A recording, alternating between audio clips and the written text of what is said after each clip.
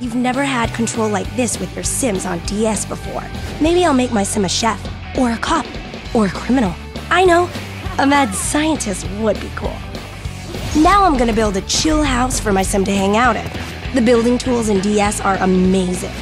You can make all kinds of rooms, choose from lots of walls, windows, floors, cool furniture, and fun accessories. It looks like everyone's having a good time.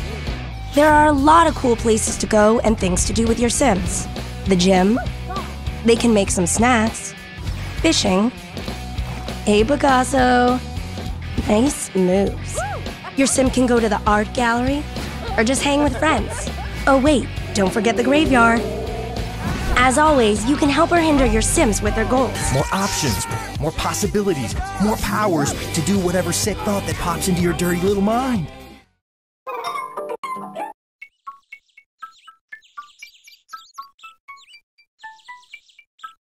Now, you move with either the D-pad or the four face buttons, which leaves everything else mapped to the touchscreen. I was originally put off by this. I mean, why waste every button on movement? Why can't I just press a button to interact with something? Well, while it may seem gimmicky, after a while you'll start to appreciate this setup. Because every action uses the touchscreen, you aren't constantly switching between two input methods. This means you don't need to awkwardly put aside the stylus while pressing a button, then take it back out when you need the touchscreen. It's a simple control scheme that works surprisingly well for this type of game. Later on, you'll gain access to various vehicles which you can use to get around faster. This is definitely a welcomed addition, as one of my biggest complaints with the previous game was how slow you moved.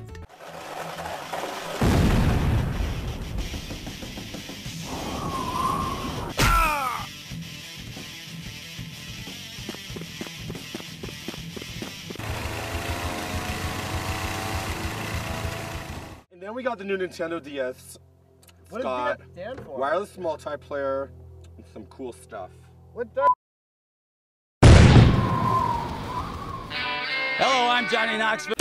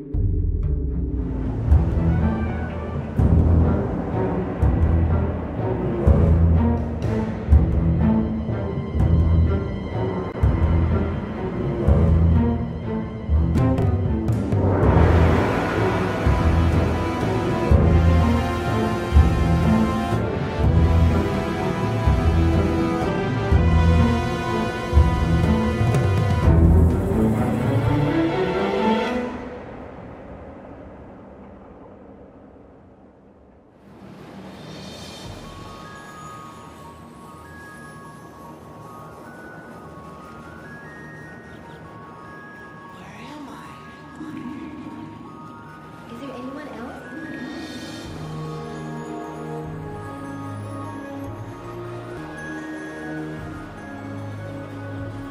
Come with me. Let's work together. On a beautiful island, two lives will cross.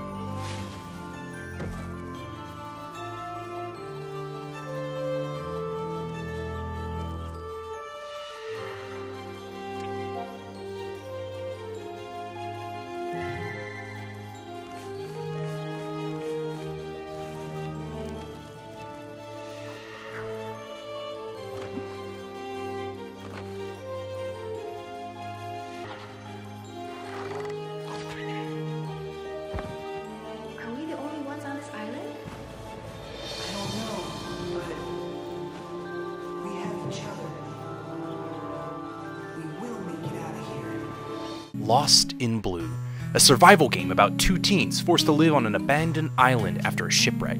The art is somehow intriguing and mystifying. The premise is engaging. The premise? You are Keith, a high school senior stranded on an uninhabited island from some sort of cruise boat crash. Or so it seems, until you stumble upon Skye, another high schooler that was on the same boat as you. After a mishap where Keith destroys Skye's glasses, leaving her legally blind, the two team up to survive on the island and try and find a way off. Throughout the coming days, the two will have to learn to find food, build shelter, and explore the island. In the process, they'll come across wild animals, ancient temples, and perhaps something even more dangerous.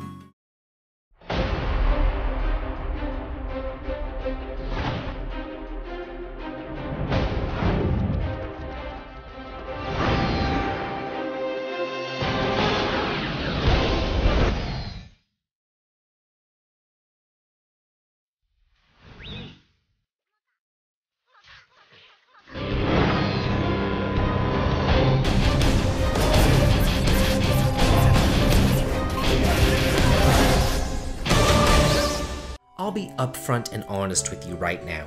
I'm not really a huge Harvest Moon fan. The only one that I ever played was the first on the SNES, and while I did devote many hours to it, I found that it got real boring real fast. Rune Factory, though, is a different beast entirely. Instead of only being concerned with your farm and the girls that you date, now there's a plethora of activities to fill your time, from fishing to farming to shopping to crafting, and most importantly, the addition of combat. That's what really sets this series apart from the aforementioned Harvest Moon. And while the first two games in the series had combat as well, it just wasn't done near as well as this.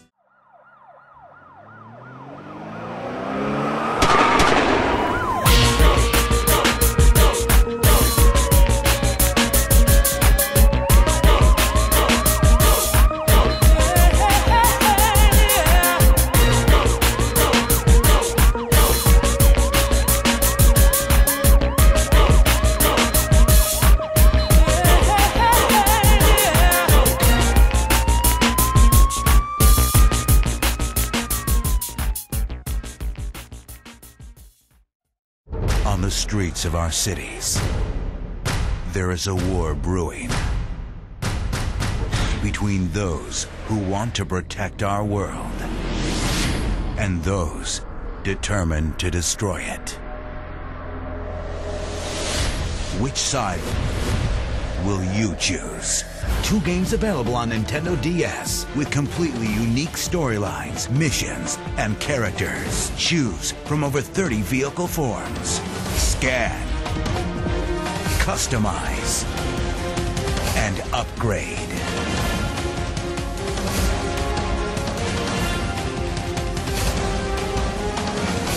Face off with four friends in local multiplayer mode. Transformers Autobots and Transformers Decepticons. Help your side in the global battle. The games are distinct on their own. They are not the same game. It's not taking one character and putting them in the same environment. We have unique characters, we have unique environments, we have unique story. We've got these two factions, we've got Autobots, we've got Decepticons, we've got this giant city, we've got these different environments. And at one point when we were doing this, it's like, you know what, we've got so much here, we could actually probably do two games. And the developers we picked for this Vicarious Visions are, I think, the, the quintessential best development team out there for the DS. It's a big game, it's epic, there's tons of characters. Uh, we really play up the fact that there's a whole wireless system where you can play locally with four players with both platforms. So it was one of these things that we wanted to make a big game for the DS, and I think we have.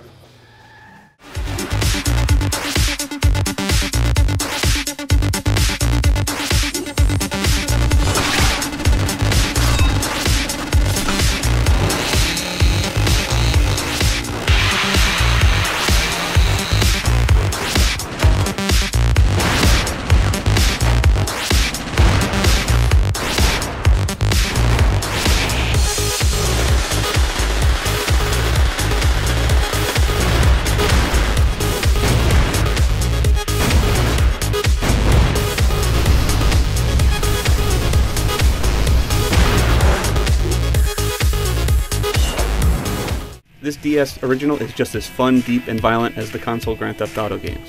It features all the great open world elements that the franchise is known for, with a ton of things that only the Nintendo DS can offer. Chinatown Wars follows Huang Lee, a spoiled rich kid son of a triad boss, delivering a symbolic sword to his uncle Kenny after his father's murder. The visuals might not match the console versions, but Chinatown Wars looks outstanding for a DS game. The 3D engine runs fast and smooth, and it features a ton of little effects. Chinatown Wars captures nearly every aspect of the console design and adds several new elements.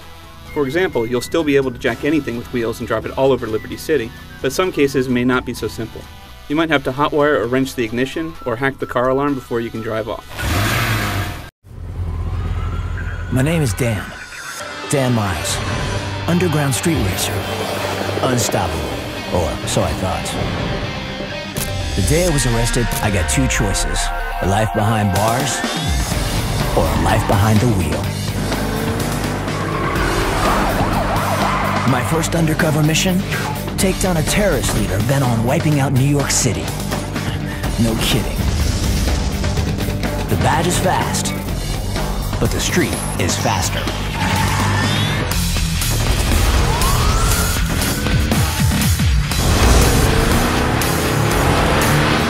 Cop the Recruit from 2009 is a Grand Theft Auto-esque open-world game which features some of the most impressive visuals on the DS. It's developed by Velez and Dubail, who you might recognize as the developers of V-Rally 3 and Driver 3 on the GBA, so it's not too surprising that this game is so remarkable. Speaking of Driver, this game was originally meant to be a game in that series, and it even has the same sound effects and city as Driver Parallel Lines. As a fan of the Driver games, playing this game was pretty novel. Somehow VD Dev got this game running at 60 FPS. There's a huge variety of locations and things to do with a relatively detailed rendition of New York City. Interiors are also densely detailed and look how the streets are filled with traffic and pedestrians. It's incredible.